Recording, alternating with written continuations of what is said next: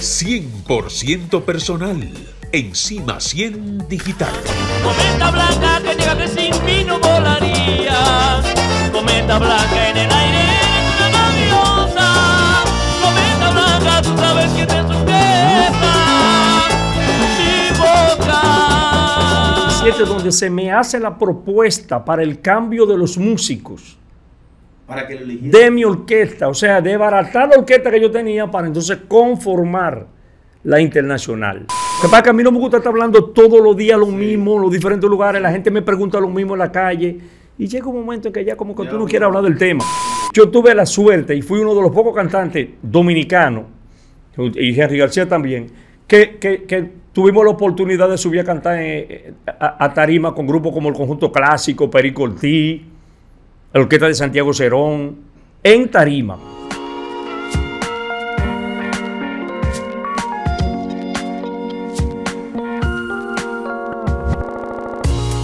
Cien por ciento personal con un artista sin igual.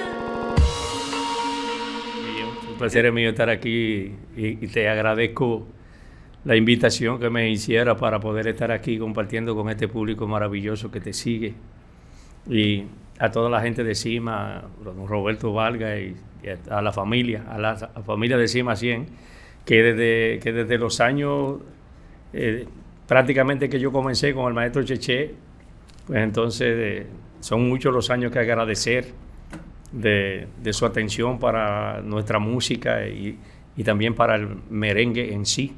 Sí, no hay otra Así es. emisora en el país que apoye más el merengue y más el merengue que ustedes hacen. Eso es correcto. Que es un merengue de verdad, un merengue clásico, un merengue que, que el merengue que gusta. Es correcto, eso es así. bueno. A veces quiero escaparme y se me hace imposible. No puedo escapar de las garras de tu amor, porque estoy atado a ti tan fuerte que me causa Yo soy de horror. la provincia de Monteplata. Monte Plata, exacto. Yo de la provincia de Monteplata, pero yo soy del pueblo de Yamasá. De Yamasá. Ese es mi pueblo, el pueblo de, de- de mi familia. Eh, allí comencé, di los primeros pasos en la música eh, con, con el, el maestro de música del pueblo, con don Cabonabo Díaz. Y allí fue que comencé, siendo apenas un, un niño, un jovencito, y luego emigramos a la ciudad y entonces ya el proceso cambió. Peter, tú llegas a la ciudad no como artista, sino como deportista. ¿Qué era lo que tú jugabas? No, no, no, no, yo no llegué como deportista. Nosotros emigramos a la ciudad, a Santo Domingo, la familia, porque A la familia. te- te- eh, nosotros, nosotros somos una familia en la que teníamos eh, cinco hermanas que ya iban a la universidad y, y los demás también ya estábamos entrando a, lo- al- a la secundaria. Entonces mi mamá decide venir a la capital para que mis hermanas tuvieran, tuvieran un poquito más de facilidad para para moverse para la universidad y ese tipo de cosas y nosotros también pudiéramos establecernos y, y a ella también le resultara un poquito más fácil porque mi mamá era eh, la mano derecha y la izquierda en la casa. Entonces decidimos venir a la, a la capital. Sí, yo practiqué algunos deportes eh, cuando vine a, cuando llegamos aquí a la capital, eh, como un jovencito de, un barrio de la ciudad, que siempre hay clubes. Para ese tiempo estaba prácticamente comenzando a establecerse el Club Mauricio Báez. Ahí nosotros comenzamos a dar pasos eh, jugando baloncesto, que, lo aprendimos en mi pueblo, en Yamasá, tanto mi hermano, mi hermano Geno Cruz como yo. Y luego entonces entramos al Club Mauricio Báez, ahí practicamos durante un, un tiempo. No, tú tenías una estatura. No, ¿Cuánto no, tienes? era, era un jovencito, yo era un jovencito, apenas era un, un niño cuando yo llegué a la, a la ciudad. También practiqué otros deportes, practiqué béisbol y practiqué también eh, karate durante un tiempo. Tenemos secretos que no podemos decir. Todos tuvimos un sueño que no pudimos vivir. Todos tenemos recuerdos que no podemos contar. Todos quisimos un beso que no pudimos lograr. No, no, no, yo, No yo salía frustrado. practiqué algunos años, pero luego de ahí entramos, entramos en materia de música. eh, estábamos estudiando, estudiamos en el Liceo Unión Panamericano, que dicho sea de paso, en el Liceo Unión Panamericana eh, también estudió el maestro Ramón Orlando, estudió el difunto Cataré y Vicente Pacheco, en el Liceo Panamericano, sí. Eh, junto con el maestro Ramón Orlando estudió mi hermano Geno Cruz, Wow. que estuvieron juntos en, en- el mismo curso. ¿Qué tocaba ajeno? Eh, Mi hermano Geno tocó con el- eh, eh, llegó a tocar con el maestro Wilfrido Valga, tocó- llegó a tocar guira ok. con Wilfrido, pero mi hermano estudió, estudió música y, y comenzó a estudiar trompeta. Ok. ¿Y tú tocaste algún instrumento? Bueno, yo estudió, eh, eh, tocaba eh, eh, eh, tambora, conga, guira, pisaba algunos acordes de piano. Yo no soy músico, porque yo realmente no me preparé dentro de lo que se Pero llama la Dios- música. Pero Dios te dio el mejor. Pero Dios me dio el instrumento existe. de la voz para que yo de ahí Y pudiera haga- sustentar la Y qué familia. garganta, Peter. Y no te voy a soltar, no tienes solo este lirio, sin mí no puedes volar, juegas a subir y subir,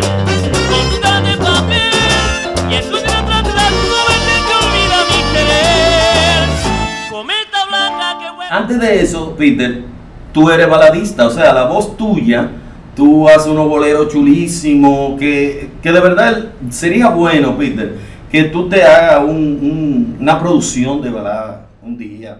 Que el inversionista, vamos arriba. Va- vamos, vamos a pensar en eso, porque tú tienes la voz, tienes el talento, y, y de verdad que tú eres un déjame, baladista. déjame explicarte algo. Eh, lo de la balada es muy hermoso y realmente a mí me fascina, me gusta. Pero nosotros entendimos cuando nos decidimos a ser cantantes de merengue, que en el merengue era que estaba el negocio para uno como cantan- cantante desde la República Dominicana. El género balada Para proyección. para proyección. El género balada es un género que es un poquito cuesta arriba para cualquier baladista dominicano. Sí, sí, sí. Entra en competencia con los verdaderos baladistas de donde viene la balada, que es de Europa. Entra en competencia con todos los baladistas durísimos del mundo. La gente estar. Y la gente siempre compara, pero no solamente que comparan, es cuestión de apoyo por las disqueras internacionales, apoyo económico, Sí, sí, sí. o sea, es un poquito cuesta arriba entrar en competencia con esa gente, pero con el merengue nosotros no tenemos competencia. El merengue es nuestro ritmo y aparte de eso tiene mercado internacional. Claro, claro. No, es, la- es negocio. Y la voz tuya no se parece a ninguna.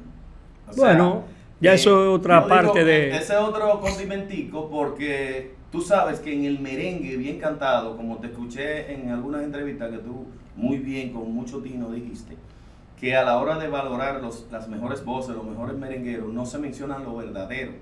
O sea, la gente que nacieron como con ese timbre de voz de verdad merenguero, como un Nelson Hill, por ejemplo. Sí, sí, claro. Un Peter Cruz, un, o sea, que son gente como que tú no lo puedes sustituir fácil. No, no, tú no. te vas de eso- un grupo y sustituirte a ti no era fácil. No, no, no, naturalmente sí. No, eso no eso pasó con muchos grupos. Sí, así es, así es. Peter. Dios te da la bendición de que pones los pies en una de las mejores orquestas de este país, que es la de Chiché Abreu. ¿Cuántos temas grabaste con Chiché? ¿Y cómo fue tu desenvolvimiento con Chiché Abreu? No, no sé realmente la cantidad de temas que, que grabé, porque grabé en todas las producciones que el maestro ¿Tú hizo. eres el líder? No, no, no, no, no. El maestro era la voz, la voz líder de- de- del grupo. El maestro Cheche fue el que grabó la mayoría de los temas de cada producción discográfica. Ahí nosotros eh, siempre teníamos una participación, el cantante eh, Pedro María, el profeta, como le decían, y yo teníamos una, una participación secundaria dentro de las producciones porque recuérdate que el maestro Cheche Abreu tenía contrato con Radamé Aracena, que era la disquera de Cheche, la guarachita. Y quien tenía contrato con la disquera era Chiché. Entonces, a nosotros nos ponían a cantar dentro de las producciones, pero nosotros no teníamos compromiso discográfico. O Ok. sea, el que tenía compromiso con, con, con Radamé era el maestro Cheche Abreu. Oca- Llega- ocasionalmente siempre grabábamos uno o dos temas. En Pero llegaste a viajar mucho con Cheche, fuera del país. No, naturalmente, claro. Porque Cheche es El maestro Cheche fue con la primera orquesta que yo salí de aquí de República Dominicana. Eh, fuimos a... Nosotros fuimos, al principio viajamos mucho a Curazao, Aruba, eh, llegamos a ir a Haití dos veces a tocar en lugares eh, de, lugar- lugares de, de cierto nivel, de prestigio allí, junto con una orquesta muy prestigiosa que luego se radicó internacionalmente, que se llamaba Tabú Combo, Que son de Haití. Con Cheche fuimos a Haití un par de veces, fuimos a Venezuela, fuimos a Curazao y Aruba, y luego entonces también fuimos a Estados Unidos. Fuimos a la Florida y fuimos a Nueva York. Con el maestro Cheche fue la primera vez que yo viajé a Nueva York. Estamos hablando del 71, El primer- 79. El primer sello que tuvo ese pasaporte. ¿Qué sentiste cuando llegaste allá, a la gran urbe? No, imagínate. Es la primera vez que llego. jovencito. Y además de eso, la época en Nueva York era diferente. Yo te lo digo porque yo en Nueva York he vivido establecido por más de 30 años. Y eh, más o menos he ido viendo los diferentes cambios generados en, en el- en la, en la forma, el desarrollo de la ciudad. eh, todos los cambios prácticamente que se ha generado en la ciudad de Nueva York, yo lo he visto de 40 años para acá.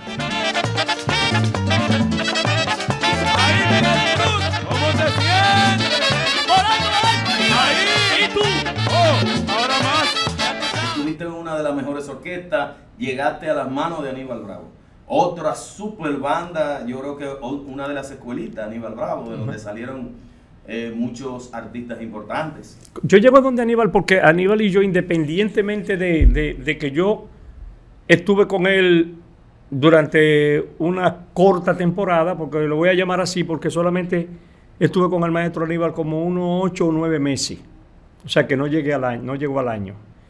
Pero Aníbal y yo, independientemente de la conexión a nivel de trabajo, nosotros somos amigos personales desde antes de yo estar con él en su grupo. Entonces, siempre nos juntábamos los lugares para bohemia y compartíamos y ese tipo de cosas. Y cuando yo salgo de la orquesta del maestro Cheche, que Aníbal sabe que yo salí de, de la orquesta de Cheche eh, y nos veíamos siempre, una de las razones también por la que se me hizo más fácil entrar donde Aníbal es porque en el momento que yo entro donde Aníbal, yo tengo contrato con la Cubaney. La Cubaney me había hecho un contrato para una producción discográfica que yo le hice a Mateo San Martín y entonces aprovechamos que Aníbal también estaba en el sello, Pertenecía. sí, entonces entro a formar parte de lo que está de, de Aníbal, pero ya Aníbal tenía la producción de él ready, la nueva, y yo tenía esa producción hecha, entonces había que esperar la promoción de cada una de esas producciones para yo poder grabar con Aníbal entonces aparte. En ese tiempo, en ese proceso, es que me llega la propuesta de Donde Wilfrido. Ay, mi madre. Entonces- La- eh, otra escuelota. Sí, sí, ahí me llegó la propuesta que originalmente yo la rechacé al principio, porque tenía compromiso con Aníbal, venían unas giras ahí que yo no podía salir de repente, y luego entonces que regresé de la gira, volvieron y me hicieron la misma propuesta otra vez, donde Wilfrido. Entonces yo le dije... No, que se aparecieron en tu casa, tú en pantalones cortos, yo supe la historia. Ahí, así, y Wilfrido fue. Y, y te- eh, Así mismo bienvenido Rodríguez quería. Y Wilfrido. Eh, ¿Cómo fue ese. Que bienvenido Rodríguez te jaló aparte. Dijo, No. espérate, yo veo talento en este muchachito. y Eh, te jaló Sí, aparte. él me, me llamó aparte. Bueno, nosotros fuimos para la casa de Belki Concepción y Belki Sí. tenía un piano en su casa. Y, y Wilfrido me llamó para, para el área del piano, que era como una pequeña terraza, y me, me pidió que cantara algunas cosas. Bienvenido, que esté en la sala, me está escuchando. Ay, ay, ay. Y cuando yo termino, me dice, Peter, permiso, ven acá. Entonces me lleva para la galería de la casa y me pregunta si yo tengo contrato disquero con alguien, discográfico. Yo le digo que no. Él me dice que vaya en horas de la tarde, pase por allá por la, por la oficina de, de Karen Records para hablar de, de grabación.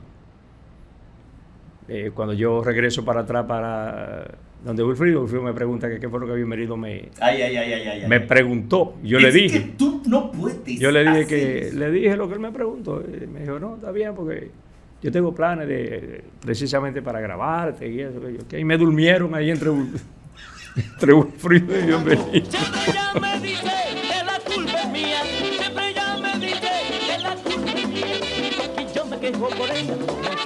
Día. Porque yo me quejo por ella de noche y de día. Cuando yo la. Llegas a la orquesta de, de, de Wilfrido Vargas, La Escuelota. ¿Qué grabaste ahí? ¿Cuál fue? Que ahí fue ya el, vamos a llamarle, porque tú no grabaste. Ahí yo lo con que hice fue, Aníbal. ba- ahí lo que hice, yo hice fue bailar mucho y hacer mucho coro. Tú no llegaste a grabar con Aníbal. Yo, yo- no, con Aníbal no grabé, porque es lo que te explico. O sea, ya yo Ah, tenía una producción y Aníbal ya tenía su producción ready. Que, que ya prácticamente será la producción que estaban promocionando. Entonces- Cuando yo entré. Ok, entonces con Wilfrido. Con Wilfrido entro y me dan los coros que tengo que montar con Wilfrido, eh, me, me dan, me, me manda uno de los muchachos para la coreografía, que eran Junior Castillo y Marco Caminero, Eh, me enseña la coreografía y posteriormente a eso quien siguió montando la coreografía fui yo. Sí. Eh, y, lo- y, lo- y me encargué de los uniformes también. De los Y déjame decirte que tú eras, en, en- tú sabes que era más también los grupos buscaban muchachos que sean aparentes, que se vieran bien. Y, y en, la, en la época, si vamos a los 80, tú ves esos videos y tú ves que todo el mundo era flaquito, pero era como la tendencia de que todo el mundo era flaco. Sí. Pero eh, tú, Peter, con tu, con tu afro y tu cosa y tu swing, y, y bailaba bien también, tú siempre, la gente como que te, te sacaba tu plato aparte a ti en todas esas agrupaciones que tú estabas. Te lo Eh, digo de verdad porque yo soy Hicimos, seguidor tuyo. eso quiere decir que hicimos el trabajo Qué para el que nos buscaron. Sí, así fue. Esa es la idea. Sí. Así fue. Entonces, sales de la, de la orquesta ya de Wilfrido, te presentas, tú decides hacer tu grupo en ese momento. Ya yo tenía con Wilfrido ya un, un tiempo, ya íbamos a tener algunos, más o menos algunos tres años. Tres años. Y entendíamos que ya habíamos estado, como que habíamos cumplido un ciclo Un ciclo. dentro de, de la orquesta de Wilfrido sin que se diera lo que yo esperaba. Entonces, yo dije, bueno, yo creo que ya yo debo salir. Salpar. Sí, yo tomé la decisión de salir. ¿Y qué hiciste? Yo salí de donde Wilfrido con el plan de hacer mi, mi propio grupo. Pero originalmente, quienes íbamos a salir juntos de donde Wilfrido era- éramos Ruby Pérez y yo para hacer una orquesta. ¿Cómo? Lo acordamos en Nueva York y cuando Bienvenido se enteró Ay, ay, ay. que nosotros dos íbamos a salir de la orquesta de Wilfrido Valga, nos envió un mensaje. Nos mandó a decir que si nosotros salíamos de la orquesta de Wilfrido nos iba a bloquear en el país entero. Imagínate, era un poder ese hombre. Yo se lo dije a Ruby en el hotel en Nueva York. ¿Qué dijo el jainero? Entonces yo le dije a Ruby, Ruby, quédate tranquilo aquí porque él era el cantante principal y el que tenía la responsabilidad del repertorio. Sí. Yo de todas maneras voy a salir. A mí Bienvenido no me iba a bloquear ni me iba a hacer nada porque yo no había grabado ni tenía nada sonando. Ni, ni con Wilfrido ni con nadie. Sí. Pero si tú sales, va a haber problemas. Entonces, Se eh, yo salí solo, eh, se preocupó. Ok. Porque no era para menos, habría que preocuparse. Claro, Porque- claro, no, un poder. Bienvenido. No, eh, Bienvenido, Rodríguez. La- esa decisión no era muy, muy halagadora. Mira, sigues evolucionando en la música, sigues echando para adelante con palos como Cometa, Cometa Blanca. Eh, yo digo que antes de Cometa Blanca estuvo el, otro tema que fue un palo también. Porque tú tuviste tres temas que como que al mismo tiempo, ya, ya cuando tú estás en las internacionales, No, no, no, porque yo Pues, antes de antes de grabar Cometa Blanca, recuérdate que, que de mí sonaron algunos temas con Wilfrido. con Wilfrido. Como lo ajeno se deja Lo quieto, ajeno se deja quieto. rompa todo el mundo, Ey, el añoñadito. ese sí me gustaba. Que aunque yo no era cantante oficial de la orquesta de Wilfrido, pero siempre me ponía a grabar algo. Rompa todo el mundo, rompa el que quiera, rompe el que quiera, rompa todo el mundo. Bueno, originalmente yo hice mi orquesta, solo, sin la ayuda de Interdosa. Interdosa ya entra eh, en una etapa en la que yo teniendo ya mi orquesta en la calle, me veo de, en una manera precaria económicamente, forzado, no puedo con la situación y entonces ando buscando ayuda. Es cuando yo llego a la oficina de Interdosa que para ese tiempo la oficina de Intel 12 estaba en la Abraham Lincoln, al lado de Foto David. Sí, sí. Yo llego- independencia ahí. Sí, yo llego con, con- con un joven que trabajaba conmigo para, para ese tiempo y llegamos ahí. Entonces ahí es donde se hacen las negociaciones para, para la ayuda ya de, de no, no de la conformación de la Orquesta Internacional, sino la ayuda para mí y mi, y mi grupo.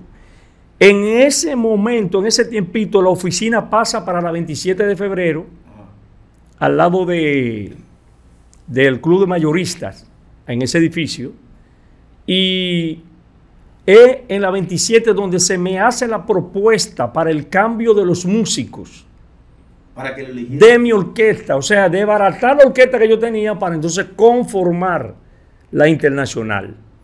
Ahí es donde yo hago un listado en el que figura el maestro Ramón, O en sea, el tú piano. elegiste a Ramón Orlando, fuiste tú. Sí, la, en la lista la hice yo. Ok.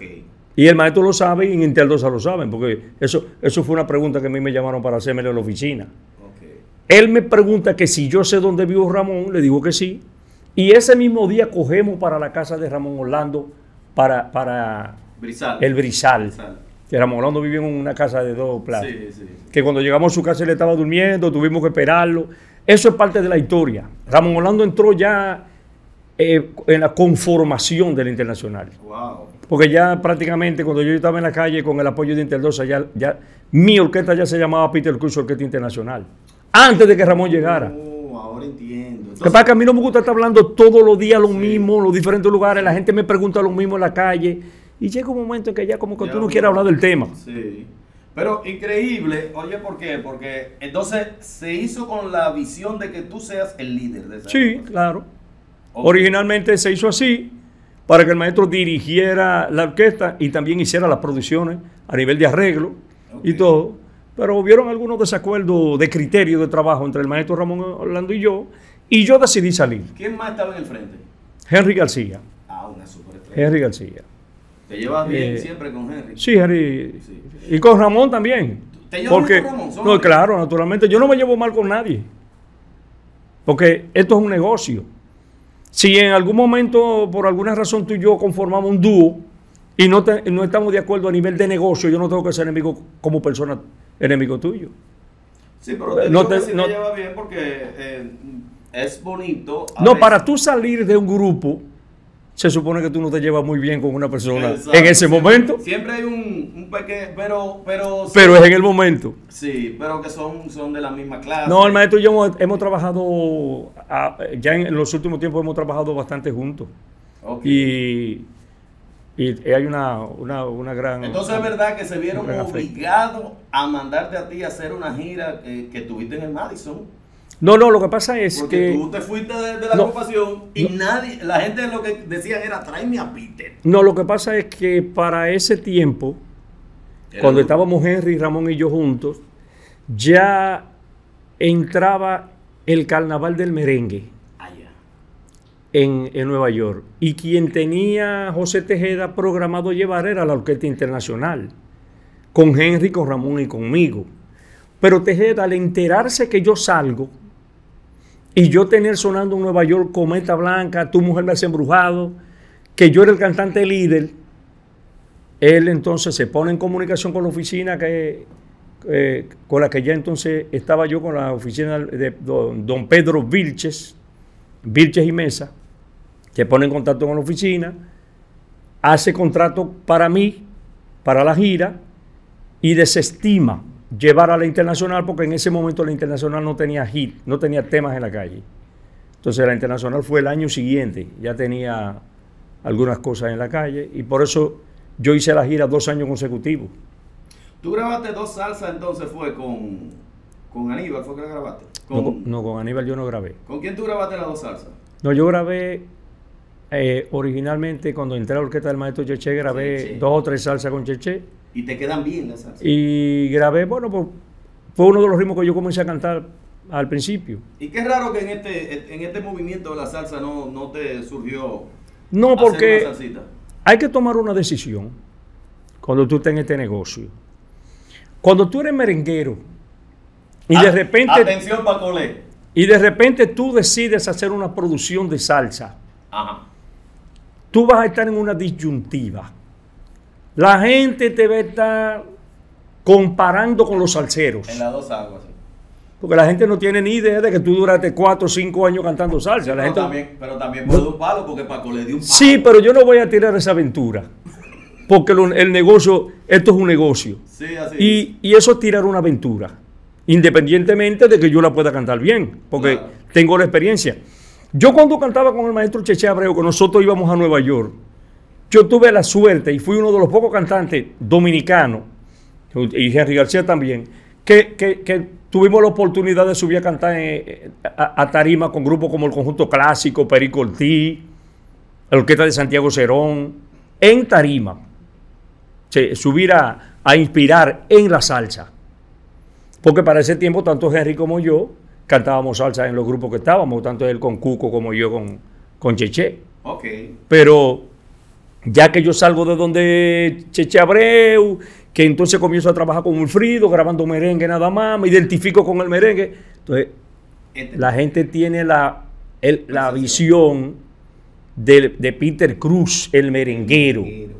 Esa imagen del salsero, eh, la gente no la Y que ya recuerda. tú- Y que ya tú vienes con tres palos. Con Exactamente. tres. Con producciones en merengue. Sí, Entonces, sí, sí. es un riesgo que se puede tomar si hay un gran inversionista que la quiere hacer.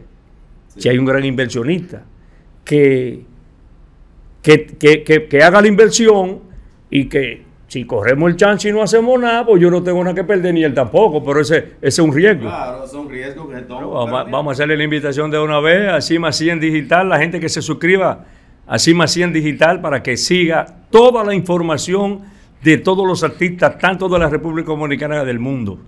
Así que Cima 100 Digital, ahí lo espero. Por ahí lo señores, veo.